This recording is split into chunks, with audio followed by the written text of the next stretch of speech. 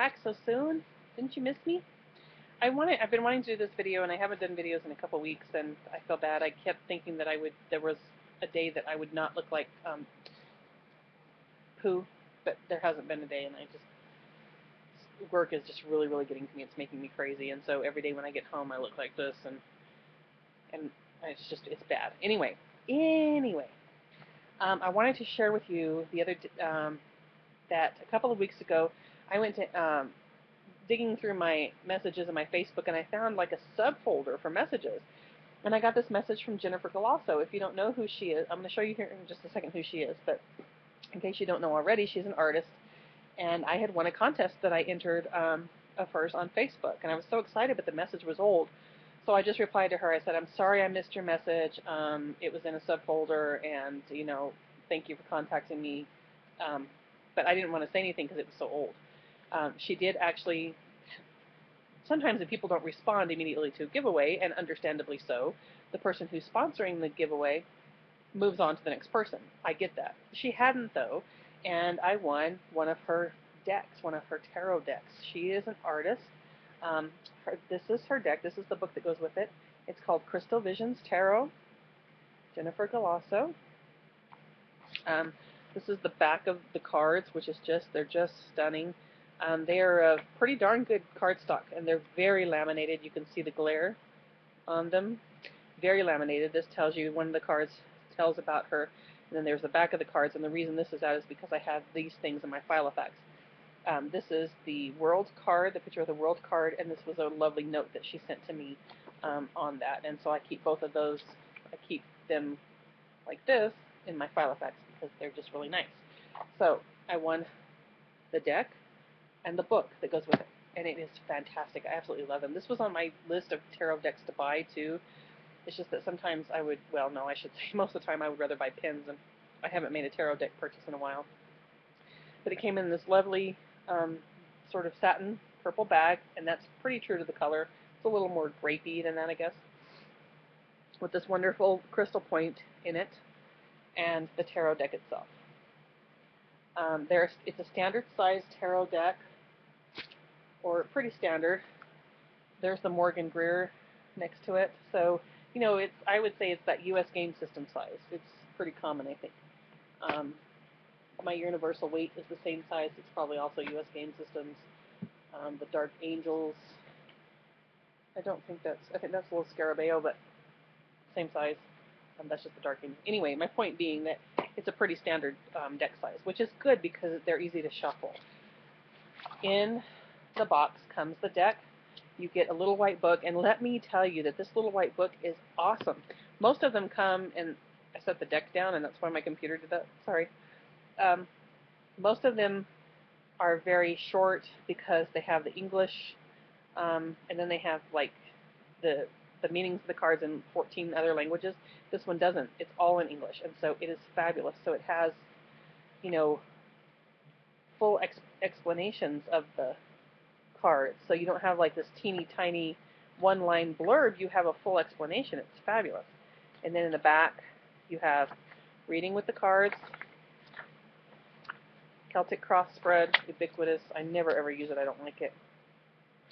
And then some space in the back of the little white book for notes, which I just think is just so much better. I know why they market it to every other country on the planet and why they do that, but I don't like it because it makes the little white book useless. This one is not useless. So if, don't feel like if you don't get this book with it, this book is fantastic. The book that comes with it is fabulous, but don't feel like if you can't afford this or you don't get it with it that you're not going to know, understand the meanings of the cards from the little white book because with this deck, the little white book is fantastic. Um, this book, let me go over this really quickly before I show you the cards. Look, she even signed the book. Isn't that awesome? Oh, it's so awesome. I was so excited. Um, it tells you about Crystal Visions Tarot. It tells you about the tarot. It tells you about reading tarot. Minor Arcana overview card numbers and basic meanings and the court cards. This is nice to have because um, rarely do you find a book that goes specifically over court cards, and court cards can be difficult. Um, I'm sorry, card numbers. So numerology, court cards, and then it tells you a bit about reversals, which is nice. And then what you what you have on each page for each card, it, and then this one starts out with a minor arcana in the front. I was, I was so surprised by that. It's interesting, but so you have a page and a black and white reproduction of the card, which is nice in case you're traveling and you just want to read about the card. Um, major arcana is the same thing. You don't you don't get cheated with these with the minor arcana, which sometimes happens. Um, and then in this deck, you also have an unknown card, which is interesting, and it tells you about that. I, I like that a lot. And it's kind of, you know, something that can't be known right now for some reason, which is interesting.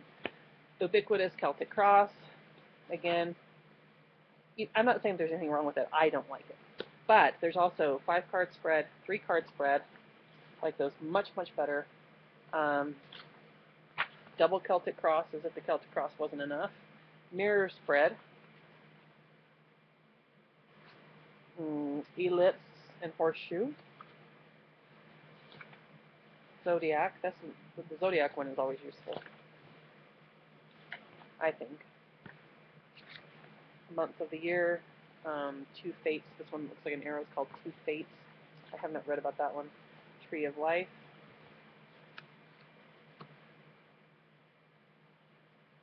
Uh, Pentacle and Chakra spread. Those two are both interesting and an about the author. And then in the back, she has references and recommended sites and resources, which is, you know, really handy.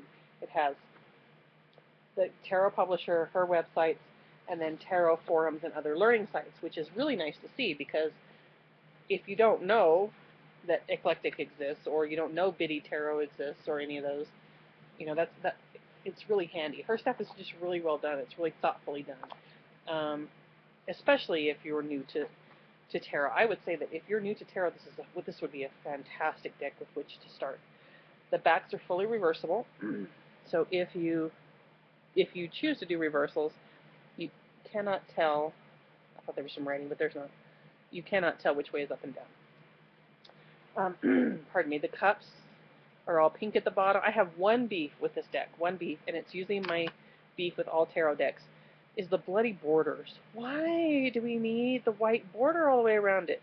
Make the art go all the way across the card like the Morgan Greer Tarot. I just, I think it takes away from the artwork, and I'm not about to go hacking into my own deck. I don't cut that well, and I about the third card in, I would just get so bored with it. So the cups have pink across the bottom on all of them. They're just stunning. There's the Four of Cups. The artwork is absolutely beautiful. Uh, Major Arcana has this kind of a sand color at the bottom. This is the Empress card, and she's just beautiful. I'm going to say beautiful about 400 more times because this deck is really stunning. The Pentacles have a very light green, almost a sagey green, no, I would say sage green, um, at the bottom. Wands is kind of a sort of a really light salmon color. Swords is blue. Um, other than that, there's no, I mean, the, you have this identifying thing here, but you know some decks you have like the colors around here, or like a darker, where this line is right here between the white and the artwork, sometimes that line is, is a different color. These are not. You just have the color at the bottom where the name of the card is. Uh, look at Nine of Pentacles. Eight of Cups. I'm just going to show you some of the cards now. Just let you enjoy the artwork, let it speak for itself. Highly recommend the deck. Um, very shuffleable, very usable, uh, very eminently readable. Um, Ace of Cups, look at that. Beautiful. Let's see if there's any others. This is the unknown card, and this is the cover that's on the book.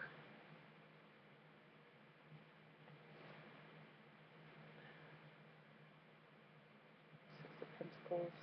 Um, this is that world card I showed you. She sent me the note card. Um, the aces are particularly genius, I think. Ace of Swords, those are butterflies. Um, it's hard to see in here. Let me see if this helps at all. It's probably just going to be really distracting and not provide any assistance in viewing at all. I have no idea what happened if you went black there on me. I'm sorry. Apple and its infinite genius. Magician. Three of Wands. They're just, they're all really luminous like that. I don't think that helped at all. I think it made it worse, actually. It did. Um, they're all just really luminous. Hermit, one of my favorite Hermit cards ever. And Hermit is usually one of my favorite cards in the deck anyway, but this is just right there on the edge of a cliff with the little light and then the light at the tips of, I'm going to say her, for lack of a, his or her wings. And then just the beautiful, the purple and, oh, just, it's really an incredible card. One of my favorite, uh, probably my favorite Hermit card ever. There's the other one, another Ace, Ace of Pentacles. see if I can't find you. There's the Ace of Wands. Wands, excuse me. A lot of the wands have these dragons in them, which are really well done. Um, there's the Death card. This is a really neat card too. I'm not fond of the Death card um, in most decks. I, and it's not that I have an issue with Death card. It's just that sometimes they are um, looking. Death and the Devil are my two least. Well, the Hierophant too. I guess is not my favorite always, but those Death and the Devil are my two least favorite cards in any tarot deck. But this is a fantastic rendition of Death. Um, World Spirit does a really good job of Death as well. Isn't that beautiful?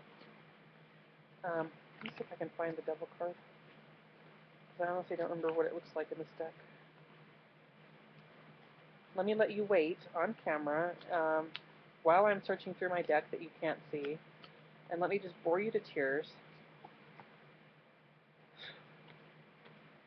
I don't see it. Here's the Hierophant, um, very traditional. Um, the only thing that's not traditional here is that you have the different symbols for different religions around here, which was, I would have liked to have seen in this deck a more non-traditional Hierophant, but I don't, it's okay. Um, because she did that thing, I wish I could find the death card. Um, if there's anything else I can tell you about this deck. You should buy it. If you're a collector, it's a definite must-have. Um, if this is your first deck, I would say that it's a good choice, a solid choice for your first deck. Shoot a monkey. I'm not going to be able to find it. And don't you know what'll happen is as soon as I turn the video off, it'll like throw itself out of the deck. I can't find it. Anyway, it is well worth it. Um, and then there's the card that has the information about Jennifer Galasso. So Jennifer, thank you. I love it. It's absolutely gorgeous. If you have any questions, let me know. And if not, see you soon. Thanks.